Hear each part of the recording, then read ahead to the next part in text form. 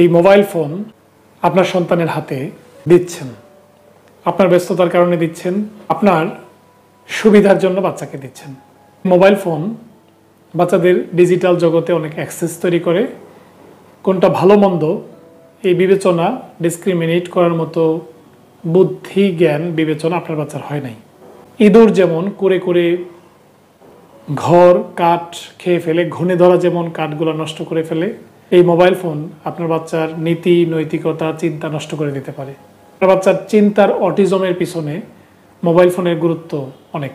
অভিভাবক হিসেবে আপনার বাচ্চাকে অতি ছোট বয়সে মোবাইল ফোনে যেন অ্যাডিক্টেড না হয়, সময় দিন বেশি, ফোন ততটুকু দেয়া যেতে পারে যতটুকু শিক্ষণীয়, যতটুকু কনস্ট্রাকটিভ যতটুকু আপনি অভিভাবক হিসেবে মনিটর করতে পারবেন।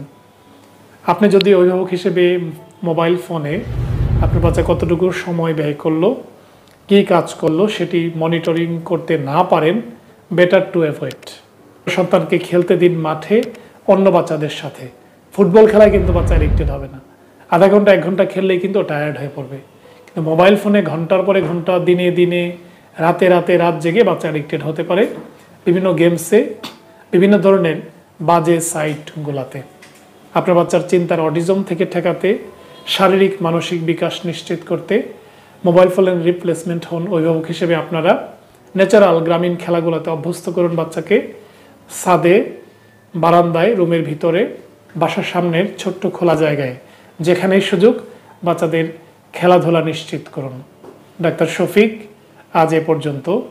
আল্লাহ হাফেজ।